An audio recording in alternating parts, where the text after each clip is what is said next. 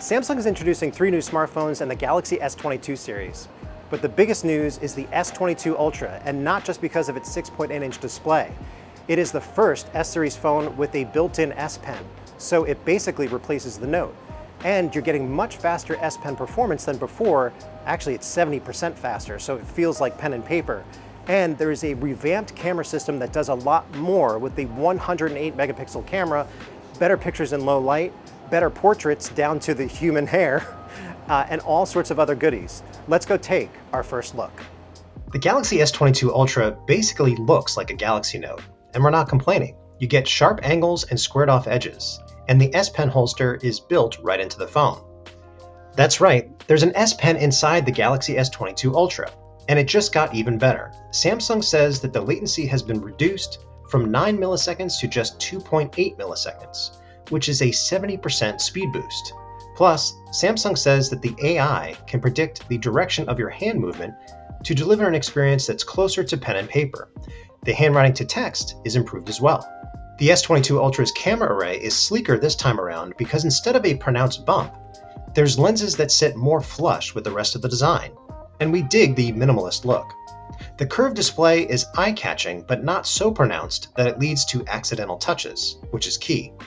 The Ultra seems built pretty tough, as it includes an armor aluminum frame along with a new Gorilla Glass Victus Plus back that's more drop and scratch resistant. In terms of colors, the S22 Ultra will be available in black, white, green, and burgundy, and the gleaming white model definitely stands out most. The Galaxy S22 Ultra's display is a 2K AMOLED panel that gives you a 120Hz refresh rate for smooth scrolling and fluid animations. But now there's two standout upgrades. One is the 1200 nits of brightness, which reaches a peak of 1750 nits in direct sunlight. And the other is a new Vision Boost feature that adjusts the color and contrast based on the ambient lighting conditions. We didn't get a chance to take the S22 Ultra outside yet, but this panel delivers vibrant colors and wide viewing angles while watching the Netflix 2022 movie preview. The Galaxy S22 Ultra's camera system offers some serious upgrades. As with the S21 Ultra, you get four main rear sensors, consisting of a 108 megapixel wide camera, 12 megapixel ultra wide, and dual telephoto lenses with up to 10x optical zoom and 100x space zoom. But the main sensor is now 23% larger, and adaptive pixel technology is used to give you brighter looking results without having to engage night mode. I noticed right away that the zoom shots look sharper on this camera than the S21 Ultra, such as when I zoomed in on the Galaxy Tab S8 Ultra from across the room. I could make out individual keys on the keyboard and display icons with ease. If you're taking a group shot, advanced auto framing can detect up to 10 subjects and optimize the focus and zoom angle. And a new AI stereo depth map enables better looking portraits that can separate the subject from the background down to a single strand of hair.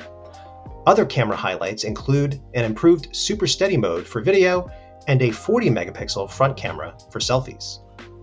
Now for some bad news. The Galaxy S22 Ultra comes with just 8 gigs of RAM that's paired with the Snapdragon 8 Gen 1 chip.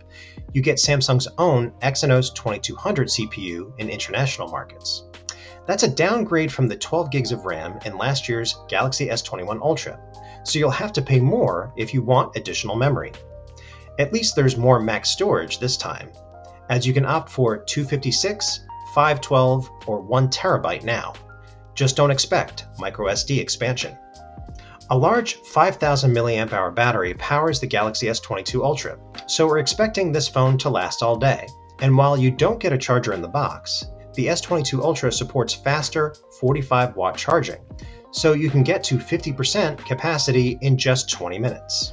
Based on our first look of the Galaxy S22 Ultra, I'm really impressed with the design and the versatility of this device, and especially the fact that you have the S Pen built in.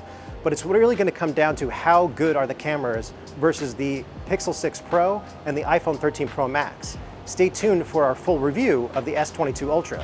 For Tom's Guide, this is Mark Spoonauer.